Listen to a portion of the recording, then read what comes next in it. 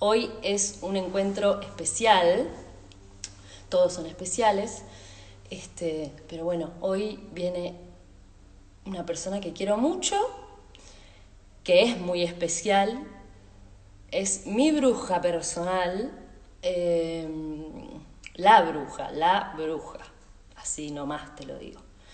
Eh, es Dalia y es mi amiga hace muchos años, 20 años, eh, que somos amigas más o menos.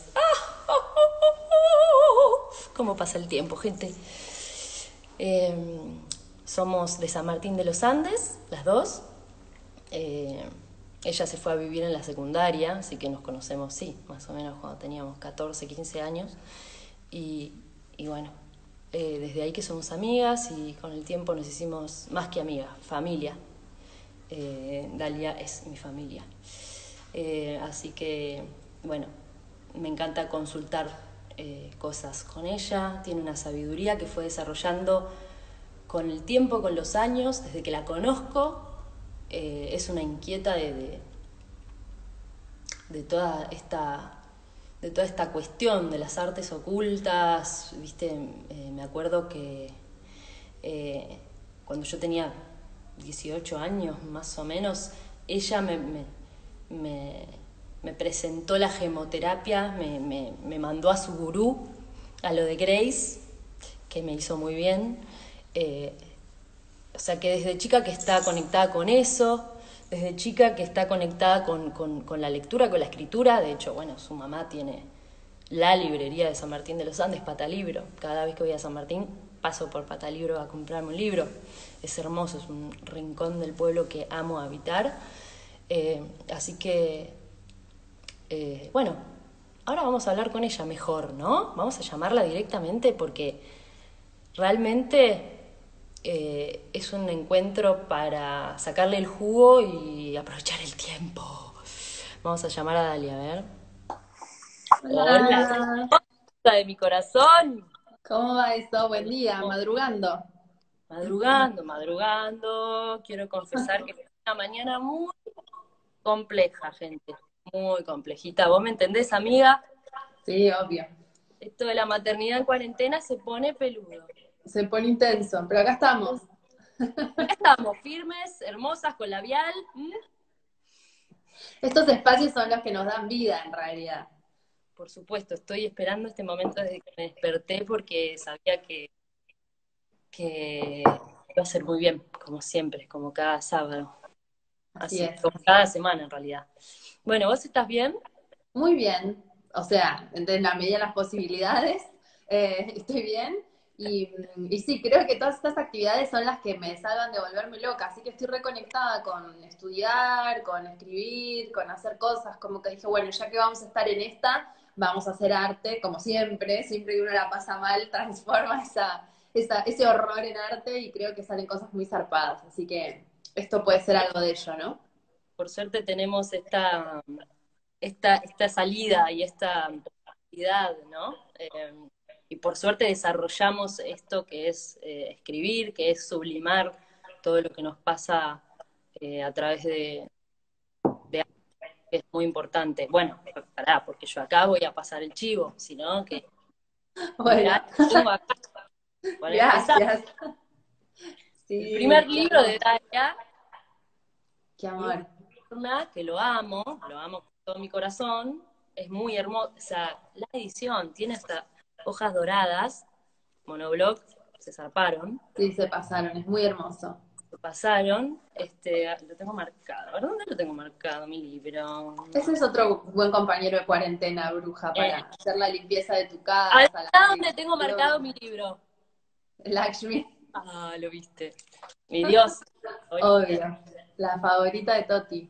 Lakshmi es la diosa de la abundancia y de la prosperidad. Es un amor. Tremendo libro y... Y el tarot como llave, que es de tarot, para todos los que gustan del tarot, que hoy vamos a trabajar con el tarot a pleno. Es la idea. Este, y bueno, pará, y estás escribiendo una novela. Estoy escribiendo una novela que estoy escribiendo hace un montón de tiempo, que espero terminarla. Ahora estamos con las correcciones y estoy em, escribiendo la Agenda de Bruja Moderna 2021 también, que tiene que ver con tarot y astrología. Así que, bueno, estoy aprovechando para volcarme en eso y también escribo cosas en los cuadernos, cosas de cosas que voy a hacer, cosas de la escribir, cosas que me pasan, cosas que estoy observando ahora, o sea, todos los que están del otro lado y que supongo que están conectados en este momento porque están conectados con la escritura, eh, les recomiendo mucho que lleven un, un, cuaderno para escribir qué les está pasando. A veces simplemente con sacar lo que tienen adentro se pueden sentir mucho mejor, que es exactamente la propuesta que está haciendo Toti y que es totalmente eh, cierta, digamos. A los que preguntan dónde se puede conseguir el libro, en tiendafe.com.ar, que es mi tienda esotérica, eh, mi tienda se llama fe, arroba somos fe en Instagram, y en tiendafe.com.ar los compran por ahí, se los mandamos, eh, o por correo, por moto, a veces al otro día, al toque ya lo reciben. Hacemos envíos en Capital eh, y, en, a todo el país. Hermoso. Me este, encanta. Sí, así que escribir es lo más, es una salida del bien escribir es lo más, sea lo que sea, ¿no? Sea un pensamiento, una frase, algo que se te ocurrió, una palabra. Eh, me encanta escribir palabras sueltas, palabras que de repente escucho y, me llaman la atención por algo, eh, o, pensamientos, o bueno, de repente colgar a, reflexionar en el papel, este, pero como que, escribir no sea, y un poco también la idea de estos encuentros es, es eso, que escribir, viste, no sea como como una cosa re, que tengo que escribir algo re bonito o armado. O ah, no. Nunca. No, porque si no, no, si no, lo escribís nunca. Hay que escribir todo. Y, y, la función de escribir diario íntimo, que es re cachi, que es re como eh, cursi, que es como tipo, hoy siento que no sé qué. Es como que escribir esas cosas, tenés que estar seguro de que nadie, nadie más que vos las va a ver y ponerlas ahí de alguna manera te hace confiar en escribir cosas que también son una mierda, ¿entendés? Es como, es un ejercicio muy sano el, diario íntimo, porque eh, no estás esperando nada de nadie, no vas a hacer nada con eso. Después, o sea, mi novela es básicamente un diario íntimo, pero eso no importa, puede suceder o puede no suceder, pero, pero digo, es como, lo importante es escribir sin sentirte juzgado, como bailar sin sentirte juzgado, y asumo que cantar también debe tener que ver con lo mismo, y simplemente dejarlo salir. Y después ves, después ni, o ni lo lees o lo lees después o ves qué haces, pero lo importante es sacarlo del sistema porque si no te enfermo, te vuelve loco. Y cuando ya lo pasas a la dimensión del papel, hay algo como mágico que pasa, o sea, ya empezando a entrar en la dimensión de la, de la, de la magia que traemos hoy esa propuesta, es eh, realmente hacer físico algo invisible. Entonces ahí todo cambia. Sí, eh, sí, además, eh, volviendo a la mierda, o sea, la mierda es re importante. La mierda salen las mejores cosas. Si no dejamos salir la mierda, nos quedamos en la superficie.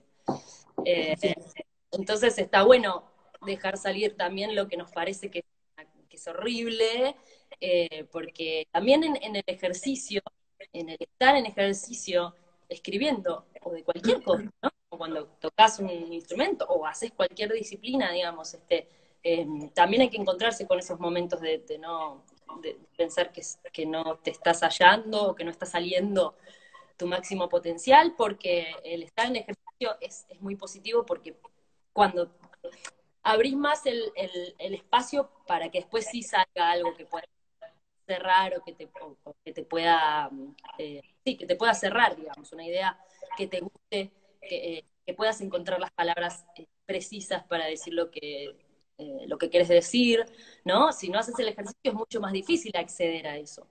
Y siempre te parece que es una porquería lo que vas a escribir. O sea, por ejemplo, a mí cuando terminé Bruja, le dije a la psicóloga, no me gusta. Y me dice, bueno, pero...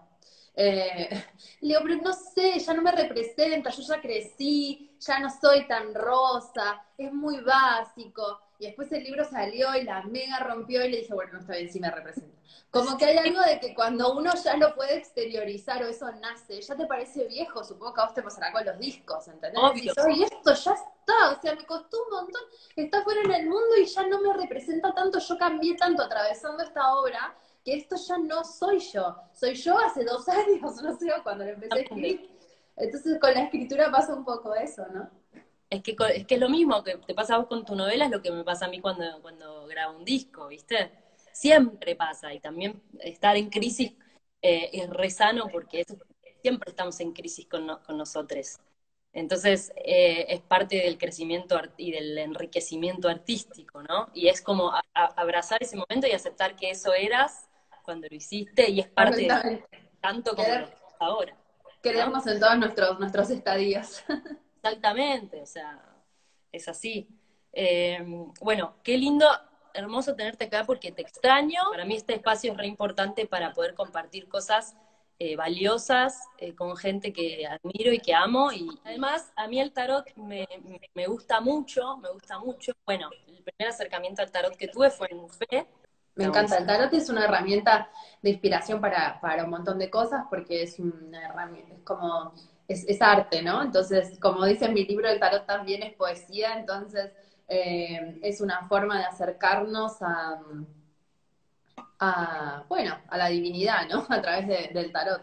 A, la divinidad como la concepción del mundo como algo lleno de posibilidades y de belleza, básicamente. Entonces, la propuesta de hoy es hacer tenemos un invitado especial que es mi marido, que ahora se fue, espero que regrese en los próximos minutos, que nos va a tocar el piano, porque somos muy artistas nosotros. Entonces es como el circo, ¿no? estar entre nosotros es como estar en el circo. Entonces la bruja, la que canta, la que baila, el que te toca el piano, siempre algo sacamos de la galera. Los asados son muy entretenidos. Em, así que, bueno, tenemos un invitado muy especial. Ayer justo hicimos un, viste que te agarra la cuarentena y te flasheas y movimos el piano del lugar, así que me parece que, está bueno lo que, lo que está pasando. Eh, mismo esto movió la energía de la casa, ¿viste? Es como que, ¿por qué vamos a usar el piano que no lo usamos?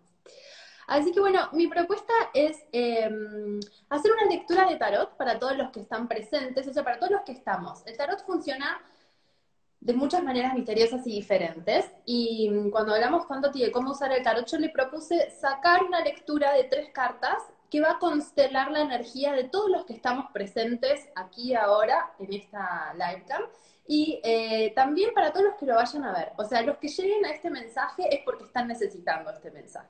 Es un juego, ¿no? Podemos creer que es cierto, podemos decir esto es una pavada, pero yo les puedo asegurar de que si creen que es cierto les va a servir. Entonces elijan, eh, eh, elijo creer, ¿viste? Como en eh, los expedientes secretos X que dice I want to believe, bueno, elijo creer.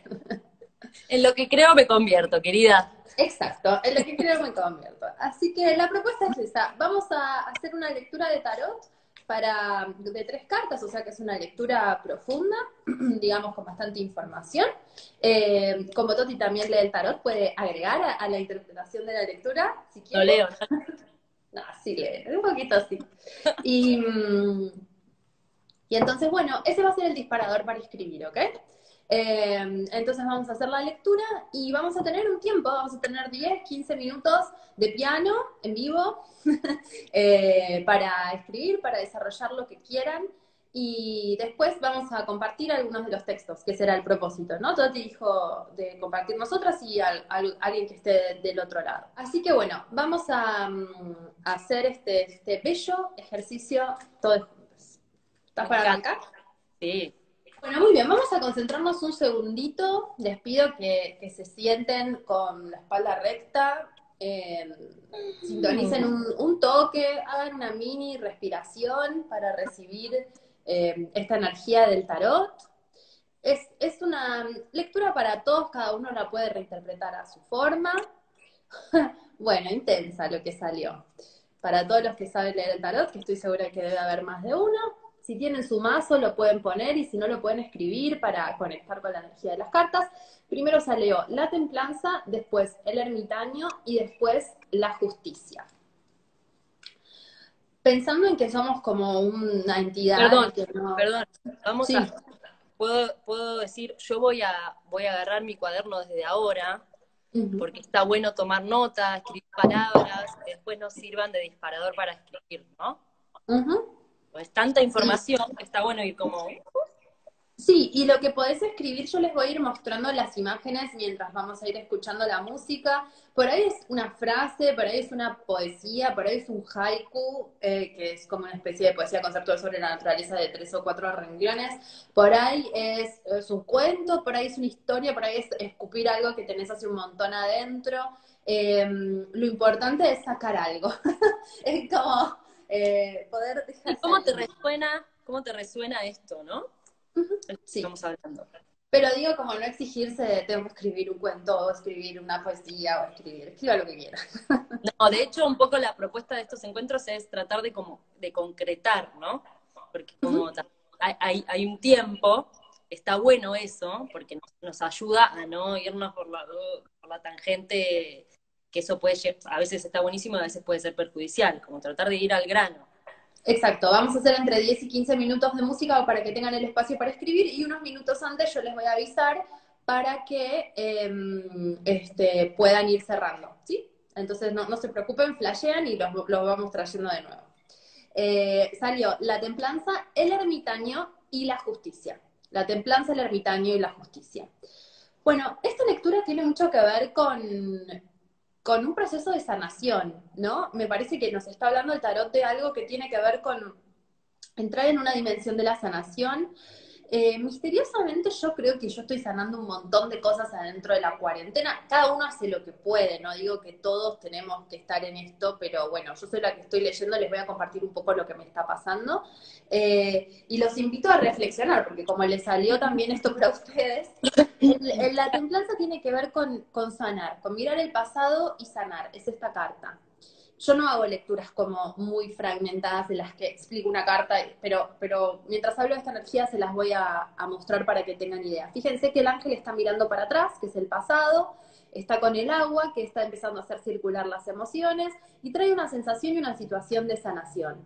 Entonces, creo que el tarot nos está diciendo que nos pongamos a pensar qué es lo que podemos sanar desde acá adentro. No es que lo tengamos que hacer, pero realmente cuando paramos la máquina y nos, nos, no nos queda otra que encontrarnos con nuestro... ¿Por qué es insoportable la cuarentena? Porque estamos en contacto con nuestros sentimientos, eh, porque no nos podemos distraer con nada de la afuera, no nos podemos distraer ni con otras personas, ni con perder el tiempo trasladándonos, ni con hacer eh, eh, excesivamente. Entonces de pronto te encontrás con vos mismo, es como un retiro pseudo vipassana, ¿no?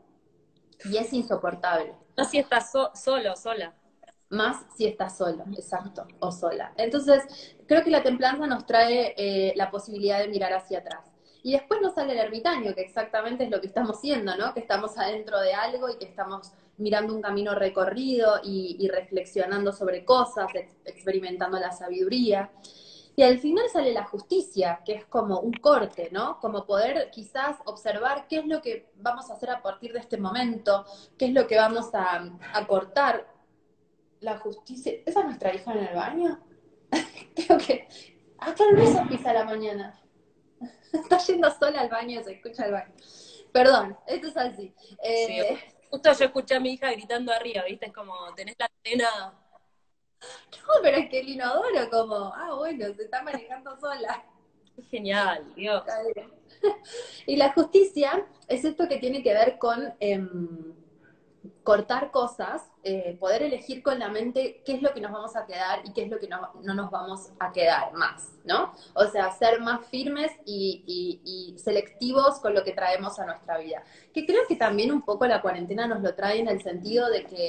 Eh, viste, ya, no sé, yo hay gente que ya directamente decidí no hablarle, o sea, o gente que te inicia conversaciones que decís, realmente, yo no quiero esto más en mi vida, o elegir que sí, esto sí estoy dispuesto a, trabajarlo, y esto estoy dispuesta a verlo, y esto estoy dispuesta a elegirlo. ¿No? Entonces creo que la lectura en sí misma es una lectura bastante fuerte, ¿eh? son tres personajes muy intensos que nos invitan a revisar el pasado, sobre todo el 14 y el 9, la templanza y el ermitaño, y la justicia nos invita a elegir. Em, voy a sacar una carta más porque, y ahora vamos a arrancar con la música, con el espacio para que ustedes puedan empezar a crear. Y voy a sacar una carta más porque son tan fuertes que creo que necesitamos una carta más. Bien, acá está el alivio. La emperatriz. La emperatriz, como cierre de la lectura, como consejo, es este que todo, todo después vuelve a brotar, digamos, ¿no? Todo cuando se va muy para adentro, cuando se pone muy frío, el pulso de la naturaleza es abrir y cerrar, el yin y el yang, el pulso de la música, el pulso de todo es, es hacia arriba y hacia abajo. Entonces todo pasa eh, y la, emperatriz nos dice, bueno, vamos a renacer eso que tienen las plantas de de pronto transformar un brote en, una flor o en una hoja que, finalmente sale. Y, mm, y eso, es como decir, vamos a, a meternos a fondo en este momento, es la, la, la, propuesta es meternos a fondo en este momento, elegir con qué nos queremos quedar para después salir eh, a renacer. Entonces, a veces es como el puerperio, no sé si te suena a vos, Toti, no sé si te has acordado del puerperio, el, el, la cuarentena. Totalmente. Es lo mismo, es como, es como el no tiempo, ¿no? Es como una, una cosa medio chicle que no, no, entendés qué hora es, si es de día, si es de noche, que estás todo el día en llama.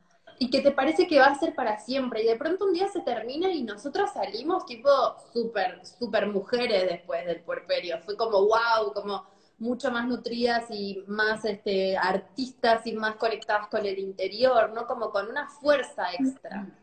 Sí, es que, a ver, siempre el, el estar, el meterse para adentro, eh, digo, esta tirada es tan atinada para este momento, ¿no? Porque siempre el, meterse para adentro es algo muy positivo, ¿no? Nunca es negativo si sabemos capitalizarlo.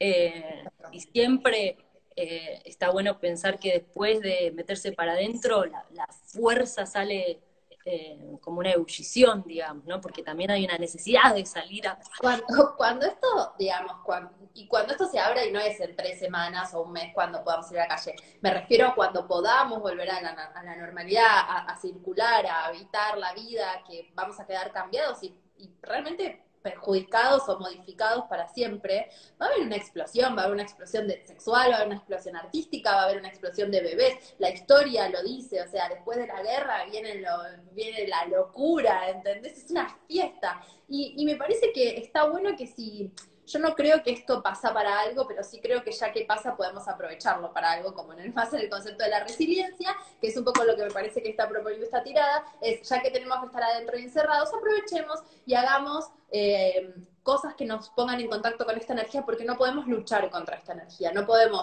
ir en contra de esta energía. Sí, y lo que decís, me gusta lo de, eh, lo de la justicia, porque también... Eh, en, esta ebullición, ¿no? Como esta cosa de querer vomitar todo, entonces también está bueno eh, e, eso que trae la justicia, que es de tener un, un instante a, a, poder elegir y poder decidir, eh, y que no sea todo tan eh, impulsivo, ¿no?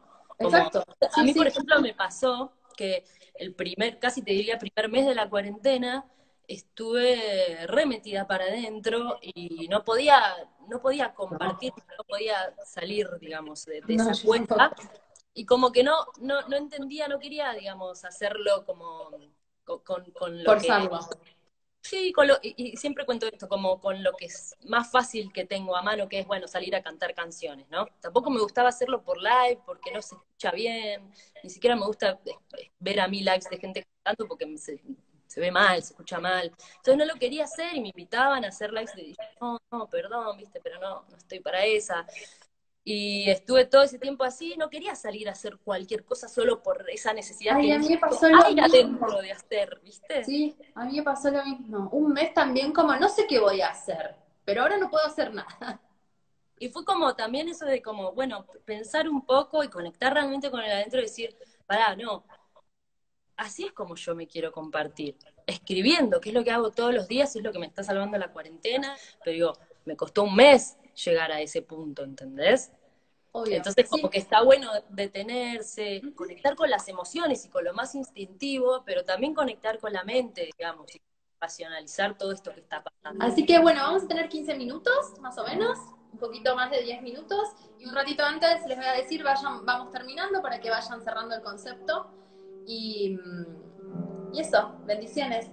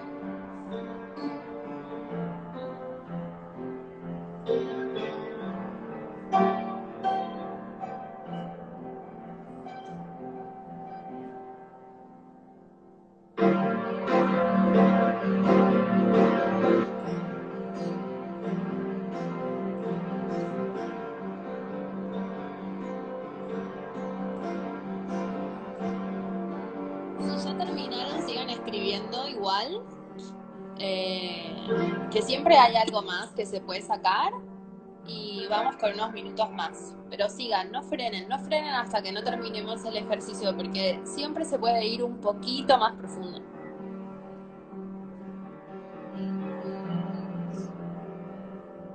Dal, sí, ¿querés poner eh, la cámara de la compu que que dé a Nick? Así.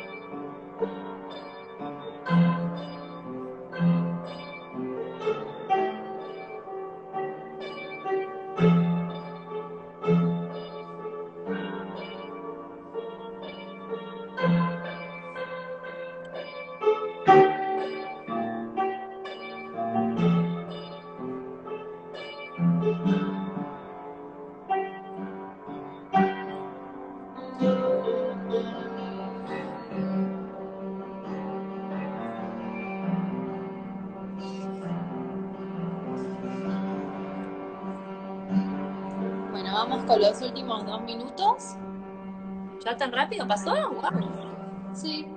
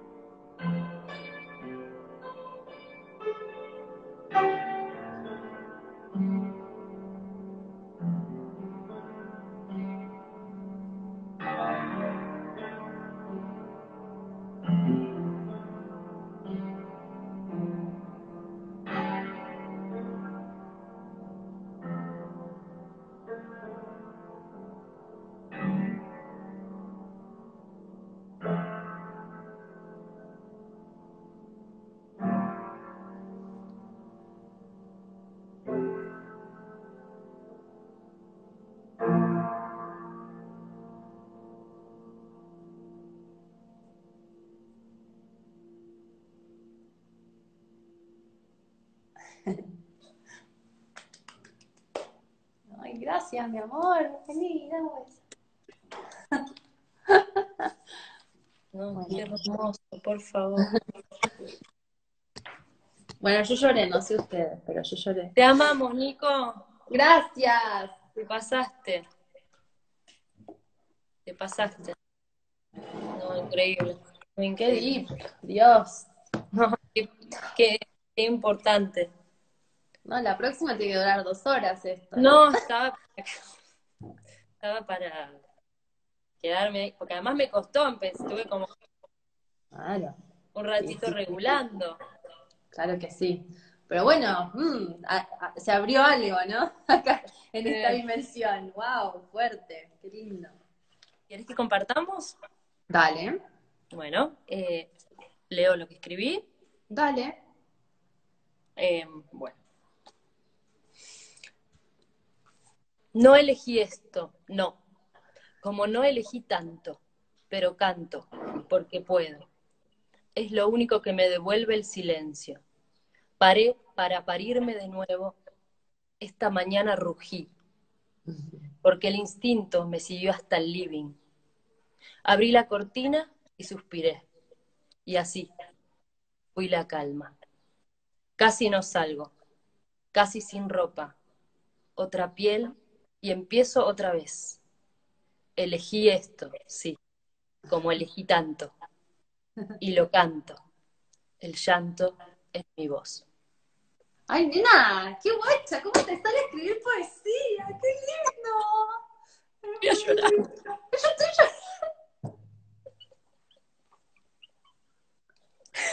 Ay, Dios, qué fuerte. Llorando en vivo, esto yo no te lo hice nunca. Esto... Nunca me había pasado. Ay, ay, ay, amiga, qué fuerte, por favor. Es muy fuerte. No, la de llorarte en vivo, esto, no, no. Cuando empezó la cuarentena solo me quebré un poquitito, pero nada más. Ay, Ay, muy hermoso. Gorda, eso es muy hermoso eso. Tenés que guardarlo mucho, es muy precioso. Gracias. Ay, Dios.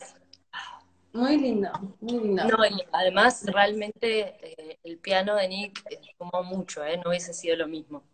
No, es que escuchó es que eligió una red dramática. Ah, sí. y bueno, es que estaba bien, acompañado, Deep, acompañado deep las cartas. Deep. Digna pareja de su, de su pareja. Sí, él, ustedes se creen que soy yo sola acá, no, hay mucho background. bueno, comparto el mío. Por favor. Quiero volver a abrazar a mis amigos y comer todos juntos en esta mesa comida árabe. Compartir el amor y la amistad en el jardín con la comida como excusa para hacer una familia. Aunque sé que esto no es para siempre, igual me pongo triste porque tengo miedo cuando pienso, por un instante, de que pueda llegar a serlo.